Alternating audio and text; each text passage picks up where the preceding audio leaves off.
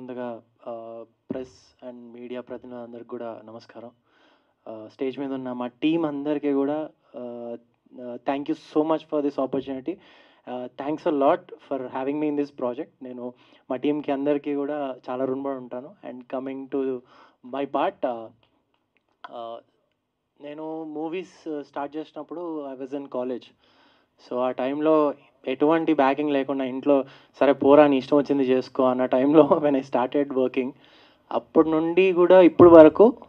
నాకున్న the biggest background I'm saying it genuinely from my heart is media because movie ఎట్లా ఉన్నా ఏమున్నా కానీ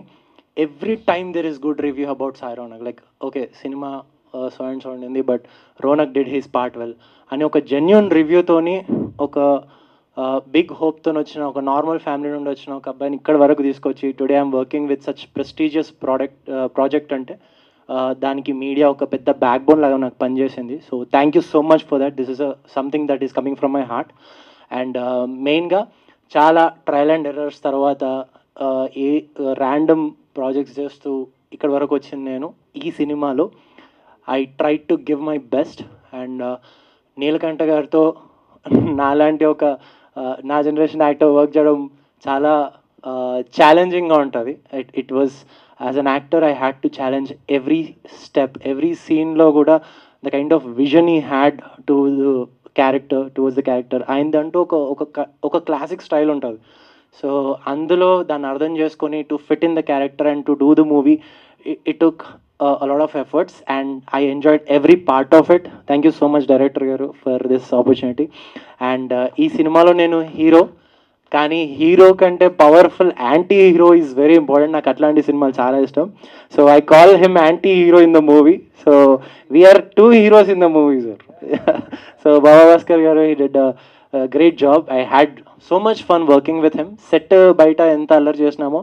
సెట్లో అంత సీరియస్గా యాక్టింగ్ చేసినాం. And people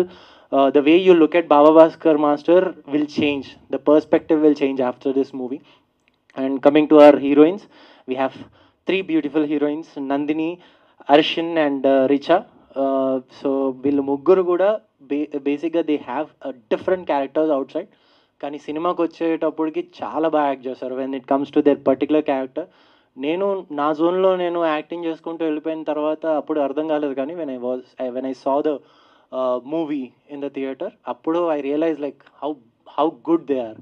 so నాకు ఒక పక్క భయం వేసింది లైక్ ఇంత ఇంత బ్యూటిఫుల్ ఆర్టిస్ట్ మధ్యలో నేను కనిపిస్తానో లేదో అని. But finally the day is near July సెవెంత్న circle cinema థియేటర్లో వస్తుంది. సో దీస్ డేస్ ప్రమోషన్ అనేది చాలా uh, కాంప్లికేటెడ్ టాస్క్ అయిపోయింది మూవీ చేయడం కన్నా. సో దీన్ని సర్కిల్ సినిమాకి since we have a very small deadline media push చేస్తే it it will go to the audience and మళ్ళీ ఫ్యామిలీ ఆడియన్స్ కదిలి థియేటర్కి వచ్చేలాంటి సినిమా ఇది అని నేను బిలీవ్ చేస్తున్నా. సో అక్కడి వరకు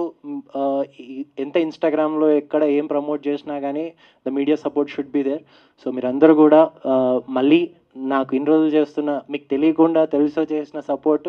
ఇక ముందు కూడా ఇంకా అగ్రెసివ్గా ఉంటుందని thank you so much for this support and I I thank everyone for having me here and let's hope for the best sir all the best to the team